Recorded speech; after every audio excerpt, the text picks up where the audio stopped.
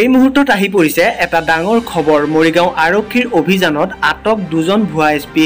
মৰিগাঁৱৰ লোচনাবাৰীত আৰক্ষীয়ে অভিযান চলাই আটক কৰিছে ভুৱা এছ পি দুজনক। লগতে কেইবাটাও চিলমোহৰ জব্দ কৰে আৰক্ষীয়ে। আটকাধীন দুই অভিযুক্ত হ'ল দুৰাবান্ধি গাঁৱৰ উমৰ ফাৰুক আৰু ৰচিদুল ইছলাম। মৰিগাঁও জিলা চোৰাংচোৰাৰ অভিযানত উক্ত যুৱক দুজনক আটক কৰিবলৈ সক্ষম হয়।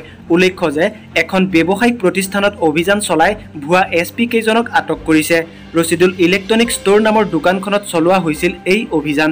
অভিযানত এটা লেপটপ স্কেনাৰ মেচিন এটা চুৱাইপ মেচিন জব্দ কৰে আৰক্ষীয়ে। তাৰোপৰি ষ্ট'ৰখনৰ পৰা জিলা আয়ুক্ত তথা এছ পি কাৰ্যালয়ৰ ভুৱা চিলমোহৰ জব্দ কৰে। ভুৱা চিলমোহৰ ব্যৱহাৰ কৰি জালি প্ৰমাণ পত্ৰ প্ৰস্তুত কৰিছিল ধৃত ব্যক্তি দুজনে।